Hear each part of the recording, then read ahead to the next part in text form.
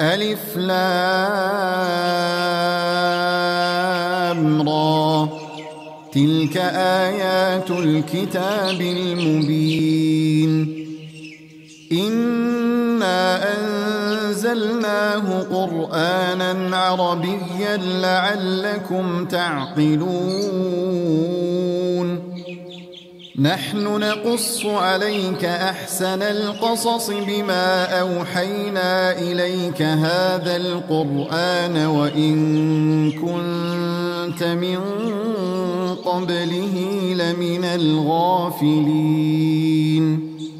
إذ قال يوسف لأبيه يا أبت إني رأيت أحد عشر كوكبا والشمس والقمر رأيتهم لي ساجدين.